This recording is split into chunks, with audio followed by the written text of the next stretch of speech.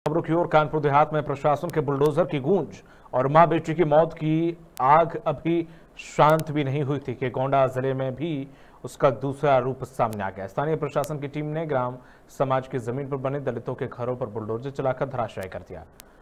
जिसके बाद से दबंगों ने उसी घर को आग के हवाले कर दिया।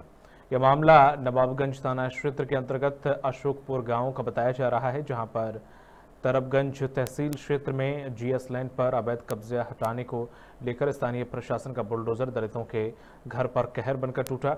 अवैध कब्जे को मुक्त कराने के लिए तहसीलदार के नेतृत्व में गठित टीम ने बड़ी कार्रवाई की, जिसमें घास फूस से बने नौ से अधिक दलित परिवारों के आशियाने को धराशायी कर दिया गया। जिसके बाद दबंगों ने उसी आशियाने को आग लगा दी।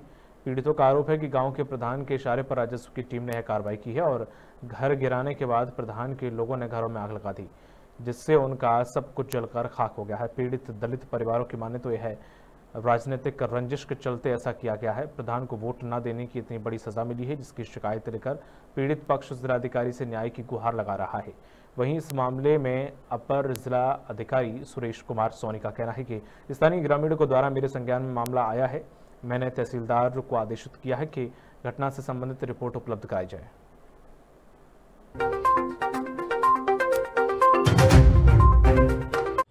लोग बहुत बहुत मिनती करते रहे कि साहब मजलो मजलो और साहब उसमें जो है हमारे कपड़े थे राशन पानी बर्तन जितना सर सामान सब सब सब उसी में जल गया साहब। नौ जने रहा ना शाम छप्पर धरे रहा ना सब जलाए दिन लगने से। प्रधान साथे रहे हैं। प्रशासन के साथे सारा सामान जल गया।